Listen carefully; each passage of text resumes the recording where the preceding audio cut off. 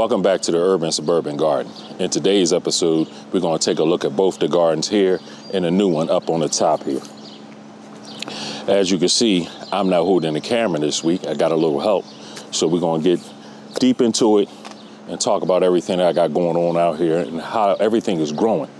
As you can see, as we get closer to the plants, we're going to start over here with the white potatoes. everything is growing great. Now, these have been in here roughly 75 to 80 days. I didn't know exact date that they popped up out of the ground, but it was the first week of April when I put them in there, and they were uh, off and going when I put them in the ground. I mean, in the pots. And as you can see, look it over here. Not as much on this one. I'm rubbing about. I feel one there. But let me pull this one here from the back. You can see it because that's a black bag. It's going to be harder for you to see it. But in this one particular here, you can feel the bulging. And you can see these popping out right here. So yeah, it's definitely potatoes in here. The front is bulging out. And the good thing about having them in these spots, I could just pull them around like I want to. And they're pretty light right now. So they definitely need some water. And it's the same with that one over there. Now the flowers that come up out of the top of them are no longer there because for some reason, the birds here in my area every time a flower pops up, the birds are eating But the plant is doing well. As you can see down at the bottom, we're starting to get some dead foliage. So that's probably letting me know one of two things that it's coming to an end or uh, it needs more water. And I believe it's starting to come to an end. I was watching um, uh, one of the other growers that we follow, Kim's Corner, I think that's her name she was harvesting her, pay, her potatoes in a video I watched yesterday, and she was around day 75. And the plants were looking similar, a little bit more rough than these. So I'm definitely going to let these go longer so the bottoms and everything start really looking like they're dying off and flopping over. And that's when we'll do our harvest and see what we got. Let's take a look on the other side. Over here, as you can see, our plants are doing well. Look how well the vinca's doing rocking and rolling. Deeper in the, we're not even at summer yet. I think we got a couple more days before we hit summer, and they are rocking and rolling. And these uh, marigolds that I um, had some seeds, I threw them in some dirt, and they started popping out. So, and back in the corner, y'all seen that in the past videos, a tomato plant that is starting to rock and roll. Those are like a grape tomato. Uh, forgot the name of them, but uh, let me pull the tag up. You can see. Husky Cherry Reds. So they're starting to definitely rock and roll now. And as we go around, we're going to see quite a few other tomato plants that just kind of came up on their own from the soil we used last year. Right here in this corner is the zucchini. And if you remember in the last video about two weeks ago, it damn sure wasn't doing this well. So it is definitely starting to take off. see the flower starting to develop in there. And that is a male flower there. And once a female comes up, and you know, the males always come up first, the flowers. The females will come right behind it with the fruit on it so they can pollinate. And we got plenty of those for, for y'all to see as we work our way through the garden. Let's come on inside here. Starting over here on this side here, remember I just mentioned how many tomato plants that uh, we have going in here. Now, we're going to get to all the other stuff in the back because I got a lot to talk about with those. Remember, the shade cloth was here, but it's no longer here, and there's reason why that for that. As I said, I'm reusing the soil that we used last year, and look at all of the tomato plants. Here's one. Here's one one. Here's one. Here's one. Here's another one. There's another one I think back here. They all started coming out, and especially this is just where the carrots are in this area here. So I'm assuming, and it's probably a good assumption, that this part of the soil is where the tomatoes were at last year, and all of those tomatoes that fell and you know bust and the seeds fell into the soil, I just carried them along to this year, and we have all of these gone. And the carrots, you can see, look at the bush. And we have the two different type carrots. We have the rainbow carrots and just the regular orange carrots, and you see how well they're doing. Uh, none of them are starting to die off or anything yet. And I feel a car. Oh, matter of fact, we got something to show this week. Come on over here, camera lady. You can see I have some carrots developing down there. See those right there? That's the orange one here. These are the rainbows because it's a different color. That one is a purple one. I think that's yellow. Let me get out of the sunlight there. You can see them better. There you go. Yeah, so we're definitely starting to get some development on the carrots. Definitely nowhere near being ready, but at least I do see something starting to develop there, so I'm good and happy about that. Now let's slide back over here into the, this corner and we'll work our way out. Over in this section here, the two uh, squashes that I have, the yellow squash and the baby squash. The baby squash are the ones you see vining all over the place. I got them running all up the back fence here and across the bottom here where the carrots are. Um, they're just running everywhere, all across the back through the uh, broccoli, and we're going to get into that in a second because I got a lot to talk about with that. Uh, but that's what, you know, there's a lot of baby squash in here taking off. And the yellow squash down in the inside there, you can see a couple of them that look like they may have been pollinated. So we'll keep our eye on in the coming weeks. Um, matter of fact, here you go, right here. See that? That's the bigger squash, the regular yellow squash. So in the coming weeks, we should be able to see if they were pollinated, and I believe they were. And uh, we'll watch them grow. But as we work our way down, let's start with this broccoli over here. And I already talked about the carrots and stuff, but the broccoli just got hammered. I was um, keeping an eye on them. They were growing great. And I've seen a few holes here and there developing. And then one day I came out and the uh, the leaf hopper worm, I believe that's what they're called, just went bananas. Had got in and tore them up, and I seen them up on top of the leaves, and they, they, they are really drooping today. So I definitely need to get some water up here. Um, and I had to take the shade cloth down so I can get back there and do some maintenance on those. And I got it sprayed and it killed off. It looked like I took I eradicated the problem I had. I don't see any new uh, holes and new new damage, but I did notice that the broccoli is definitely starting to develop here, and I'm going to run into a problem because later on in the season, when the broccoli was developing, since I got a late start on the broccoli, I could have folded these leaves up over top of the broccoli head to save it from burning the tops of it. So I'm going to try to uh, compensate with that by using, yes, um, by using um, the shade cloth. Let me get up inside here. Well, yeah, back to the, the broccoli. They just got hammered. And so if I don't get anything from it, I, I know what it, my problem was and um, I definitely need, and they mulch too. There's too much sun. That's what it is, because the soil is still fairly wet.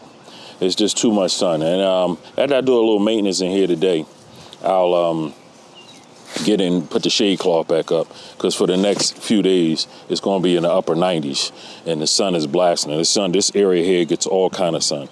And if you, you know, like I said in the uh, past videos, that was the reason why I had the shade cloth in this area is because these uh, vegetables here should have been planted uh, a month earlier than what I did, except the zucchini back there, I mean the squash back there. Now up here, and I just noticed a, another tomato plant, we have the beets up here, the two beets, the Detroit red, and the, uh, forgot what the Saginaw something beets in the back. But I have another tomato plant that just popped up out of here, well at least where now that I could see it. And again, and there's another one. Jeez, right there. So with them this far in here, and I plan doing succession planting the tomatoes. Uh, now I don't have to worry about doing it. Um, I'm gonna just let those tomato plants grow, and as the season goes along, I'll have plenty of tomatoes. Now remember what I said about those uh, leaf hopper worms that were the uh, on my broccoli. They also got to my cabbage. But again, I sprayed, eventually got the BT, I got it sprayed, and I think I got eradicated now because everything, the heads in here are starting to definitely grow and get nice and hard, and I don't see any new holes. Get around here. Any new holes developing on that, uh, or the cabbage heads. Last year when I grew cabbage, I was able, I was successful with growing the red cabbage. The white cabbage like I have here, I didn't have any luck out of. The worms and the bugs got me last year before I got any of the, the white cabbage. But uh, this year, look like I'm gonna get a decent harvest out of them. But I definitely got to get them covered back up. Those are one of those plants that I should have had gone a month ago. I mean, a month earlier than I did. And but the shade cloth definitely works. And the romaine lettuce the great thing about this here we've been continuously coming up here just peeling off leaves when we're making salads and whatever else we needed the lettuce. And it's just continuously growing back. And as long as i keep it covered up in water it seems to keep growing. So as long as it keeps growing i'm gonna leave those there until they start to look sickly. Um, we'll just continue to keep those going to later on in the season. This is where the spinach was at right here. And it bolted Again, those one of those crops that you plant early spring. You get your harvests from them because when you get deep in the summer, this time of the year, it's going to uh, start bolting because it's too hot out here for them. All right, over here in the bean section, we got the two beans, green beans and the purple beans. The green beans are vining up just like we wanted it to do. That's why we built up this nice trellis fence net thing here. And it's doing fantastic. We haven't got any beans off of this yet because it's still doing it in the stretch process but we should be having some here soon. Over to the left is the uh, purple beans, and I thought these would vine up the trellis, but it didn't. But they've already taken off and started growing beans already. See if we can get in there. And as you can see, there's a few there. So yeah, everything is doing really, really well over here, and we're starting to get some uh, fruit from our our growth over here. Marigolds are doing great. And uh, one of the um, the viewers, she told me how to pronounce that plant there. I keep calling it the wrong thing. Is Cialis, Cialis, something like that.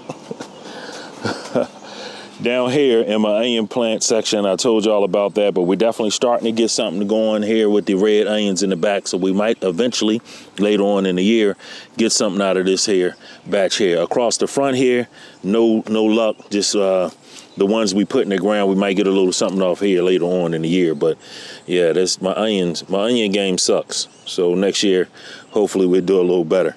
And again, the tomato plant that I told you last week, uh, a couple weeks ago, excuse me, that it came up out of the ground there.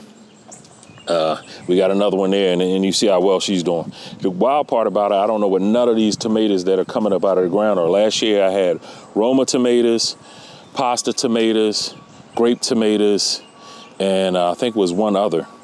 And so it could be any any of the four that I was growing last year. So we'll just have to wait and see. But down here in the strawberry section, strawberries, the section was doing great. And I told you about it and I showed you in the last video how the strawberries were doing very well. And here you go, you got some strawberries right up here that are developing. I've been battling with the birds in the area.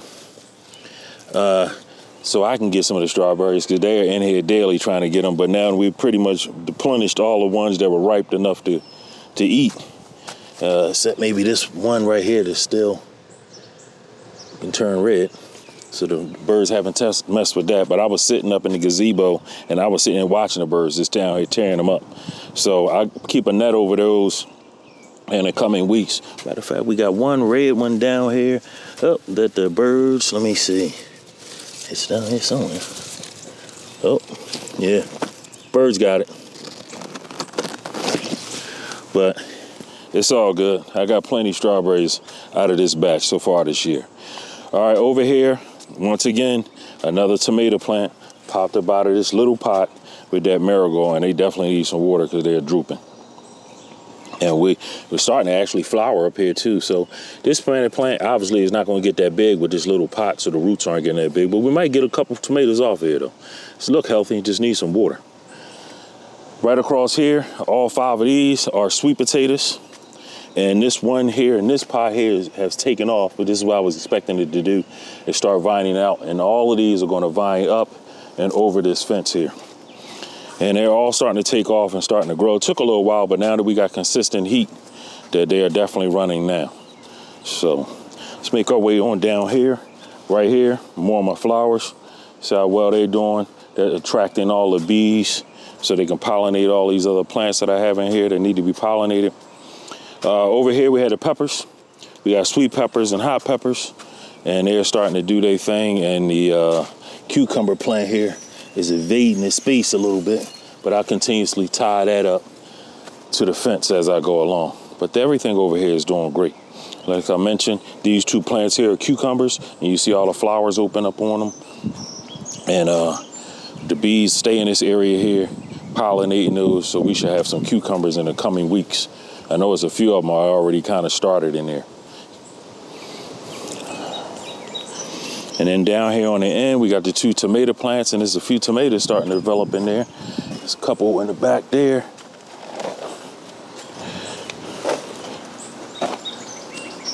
And I think those are the early girls and I can't. Yeah, you got the name tag there. But yeah, we got tomatoes off and growing, and in the other garden, there's some tomatoes up there too. The uh, yellow boy and the purple ones, the purple Cherokee purples, they're all growing. Now let's let's uh, take a look at the other garden. Now up here in garden number two, as you can see, everything is doing great.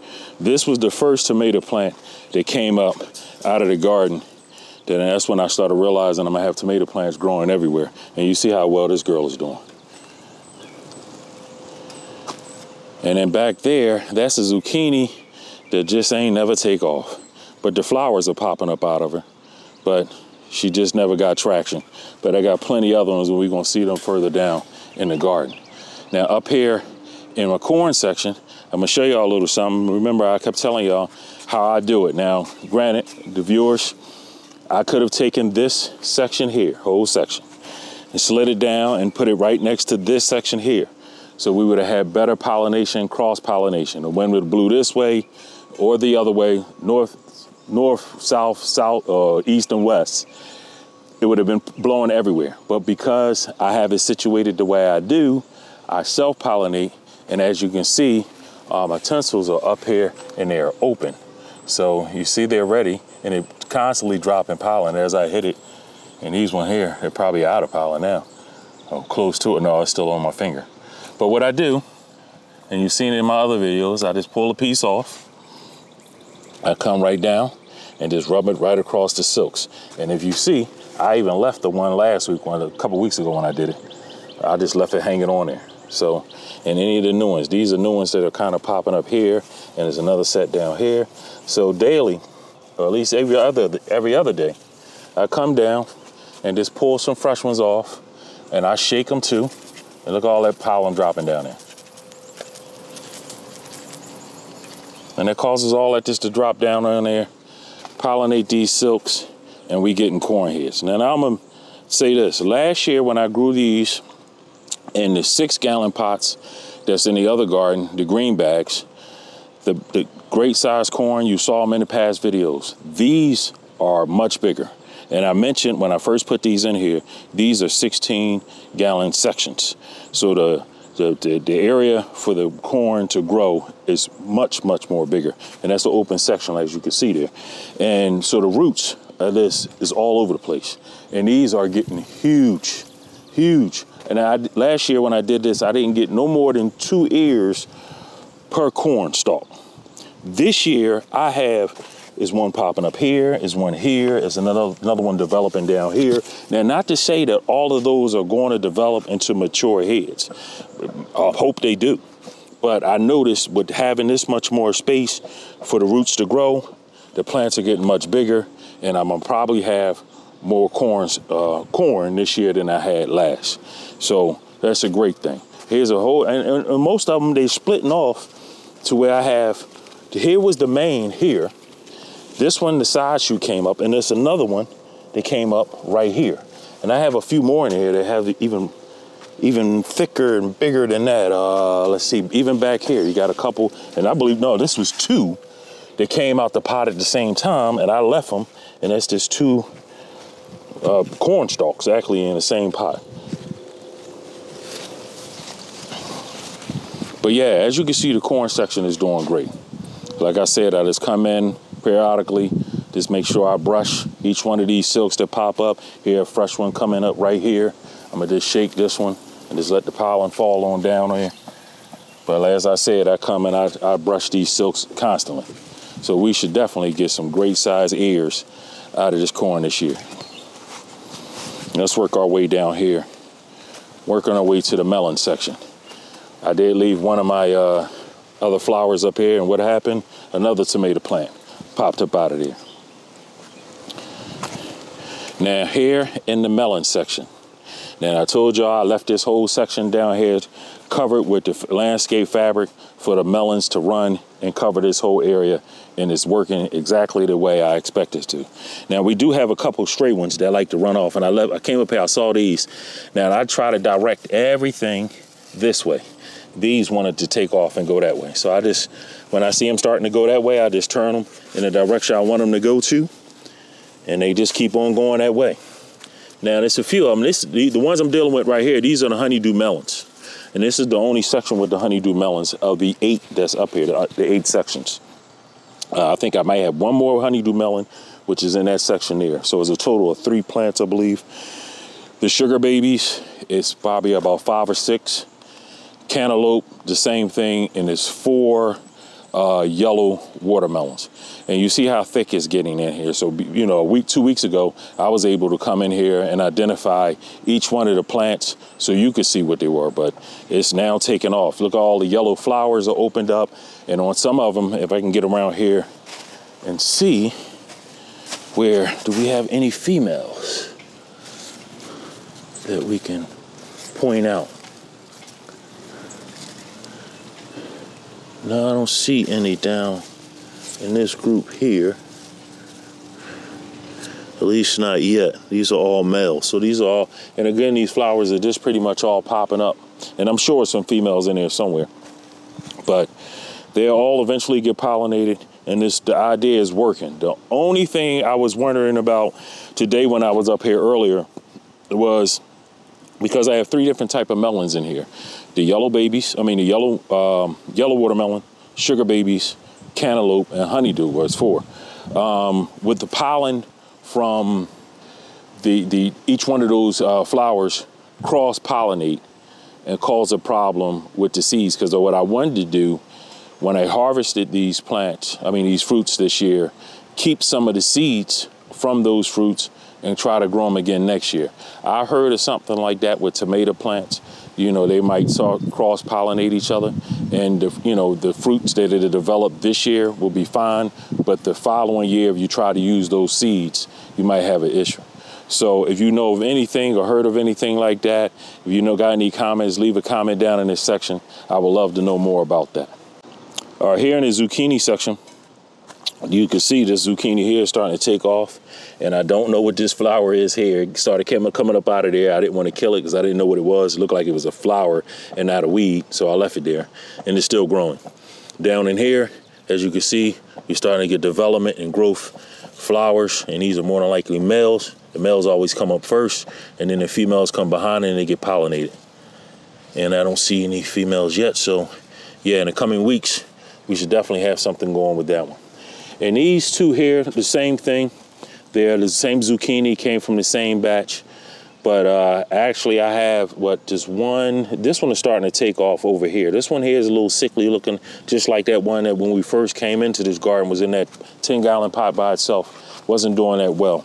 So we'll keep an eye on them. Hopefully they'll pick up and we'll get something out of them. And here we are, this is eggplant.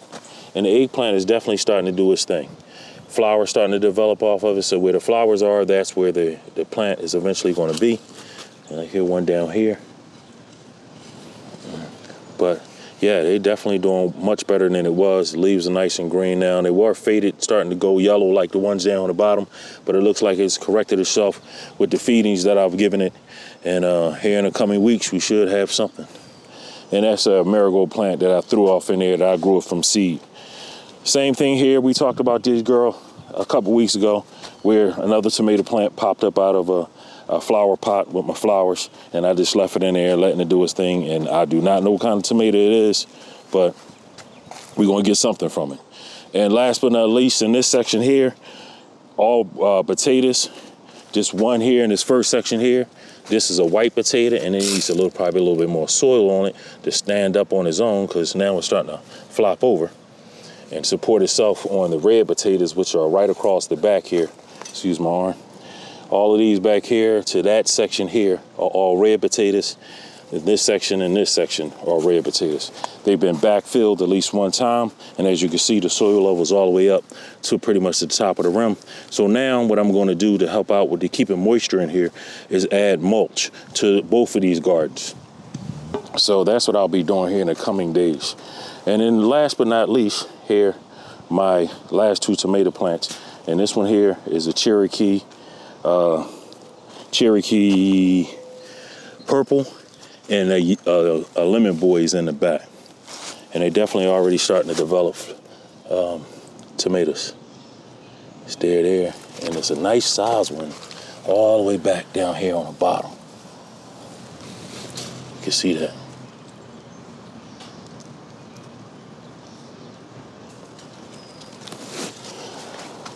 But yeah, that's what the garden is looking like. We're gonna take another look at the garden here in the next coming, I'm gonna say at least two weeks. I give it another two weeks. And by then we'll probably have four heads of corn over here and much more fruit show, to show you down there because most of the stuff down there was started much earlier than the stuff that's uh, up here. But that's all I have for you in this video. If you like what you saw, give me a thumbs up, leave me a comment, share, and subscribe. And until the next one, keep growing.